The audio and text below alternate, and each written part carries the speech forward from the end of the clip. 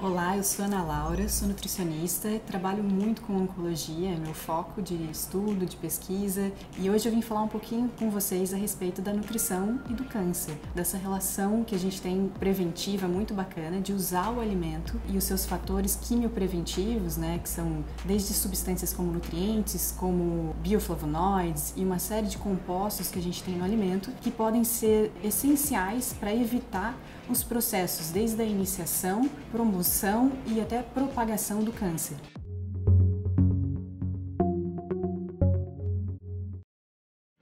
Começando falando sobre a prevenção, nós sabemos atualmente hoje de uma relação muito forte do câncer com a inflamação. Os processos inflamatórios são fundamentais para que ocorra o desenvolvimento do câncer. A nutrição evoluiu muito em a gente utilizar cada vez mais para o nosso paciente oncológico uma dieta que seja anti-inflamatória, tanto pensando no quesito prevenção, mas também pensando durante o tratamento. Atualmente, nós já conseguimos informações através do nosso DNA, informações complementares que podem inclusive direcionar a nossa nossa dieta por uma dieta mais individualizada, inclusive utilizando alguns nutrientes que são capazes de modular processos inflamatórios, uma vez que a gente consegue detectar, inclusive, que aquele paciente tem uma tendência maior à inflamação.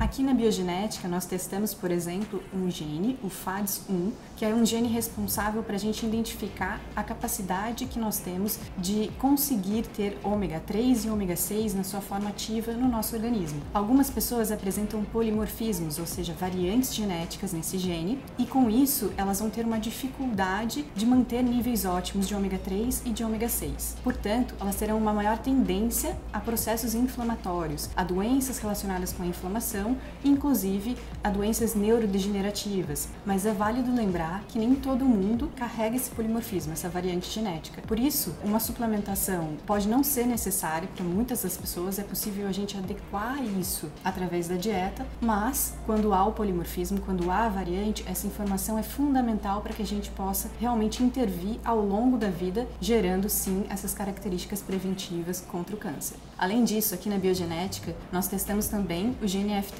Polimorfismos no GNFTO podem gerar uma maior tendência ao acúmulo de gordura. Nós já sabemos hoje da relação entre obesidade e câncer. A obesidade, ela propicia todo um ambiente mais inflamatório, inclusive, como já discutimos anteriormente, que é capaz de propiciar uma maior tendência ao desenvolvimento de inúmeros cânceres. Além disso, o GNFTO apresenta uma relação em estudos com glioblastoma e leucemia, por exemplo. A partir da informação dessa variação genética, nós conseguimos aplicar uma série de eh, modificações no dia a dia do paciente que fazem com que a expressão desse gene seja anulada, seja silenciada, gerando sim as características preventivas tão importantes que nós buscamos. Como, por exemplo, a prática de atividade física e a redução e controle da gordura saturada na dieta desse paciente.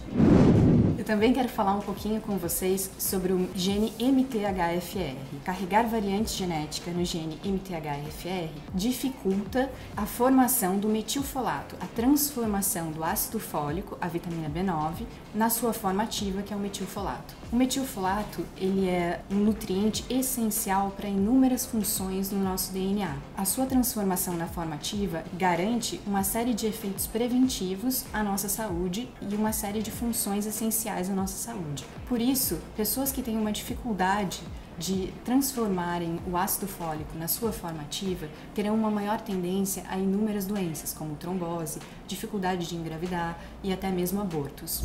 Além disso, o metilfolato também tem sido amplamente estudado por sua relação com o câncer. O metilfolato ele é capaz de gerar o silenciamento do nosso DNA, uma função fundamental para que consigamos, inclusive, silenciar genes responsáveis pelo desenvolvimento tumoral, gerando assim uma característica política mais preventiva na nossa dieta. Por isso a importância de identificar se de fato você carrega a variante, o polimorfismo genético, que dificulta a sua transformação de ácido fólico na forma de metilfolato. Uma vez que a suplementação de metilfolato, sem o conhecimento desse polimorfismo, a gente poderia ter doses muito altas da forma ativa do metilfolato e nós ainda desconhecemos o que isso poderia gerar, uma vez que o metilfolato é responsável pelo silenciamento genético e silenciar alguns alvos dos quais a gente não tem conhecimento isso poderia gerar alguns efeitos prejudiciais para a saúde. Muito obrigada e até logo!